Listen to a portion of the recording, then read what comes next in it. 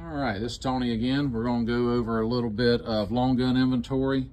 Uh, we've got a really nice Browning 725. Uh, this is gonna be the Citori Pro. It's gonna be a skeet model with a skeet rib, grade five walnut, adjustable cheek well. Uh, several Ruger 1022s and Ruger Americans in 22. Uh, Springfield Armory M1A.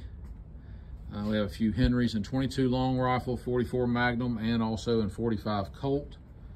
Uh, the 45 Colt's going to be the Silver Boy, Silver Big Boy. It's really nice.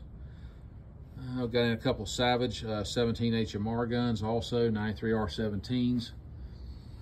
Uh, shotguns, we've got some of the ATI over and unders in 410, 20 gauge, and 12. Got a couple nice Berettas. Got a three and a half inch timber finish with the Mega Kickoff. And we also got a 20 gauge A400 Upland with a Mega Kickoff. Really nice gun.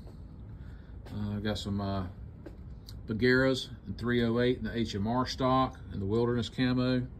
Uh, we have a Wilderness Camo 6.5 Creedmoor, and we also have one of the special purpose 18 inch barrel 308s in the Bergara Ridge. Uh, Ruger Americans in 308, uh, 350 Legend, 6.5 Creedmoor, uh, 204 Ruger. We also got in some of the TriStar 410 lever actions. We have it in a black finish, a color case hardened finish, and a nickel finish. Uh, we do have the uh, 350 Legend and 35 Whelens in the CVA Scouts. And we also have a Savage 338 Lapua. And of course, you can see our big H-Car 30-06 semi-auto sitting over there. Uh, over on our AR section, we've got a ton of ARs in right now and AKs. We've been trying to get our inventory up on that, just current political climate. We've got Smith & Wesson M&Ps. We have a used Delton. We've got a really nice CZ Scorpion in Tan.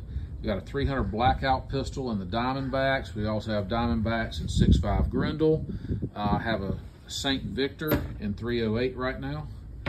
And it's priced at only $13.49 for the St. Victor in 308. Uh, let's see, we also have a regular St. Victor in 5.56. It's at 1050 uh, We have a Colt 20 inch A4 with a removable carry handle. Got a couple AKs. We've got a Kalashnikov KR103. I've got a Pioneer Arm 76239. Uh, we have a 556 Arsenal SAM 5. And we also got a side folder stock uh, on the on Pioneer also. Also finally got in some more IWI Zion 15, Z15 guns. And we also got a really nice Troy carbine in also. Those have free flows, threaded barrels, all the good stuff. Uh, a couple used Kel-Tec Sub 2000s. Plenty of good stuff to come look at right now. Y'all come see us.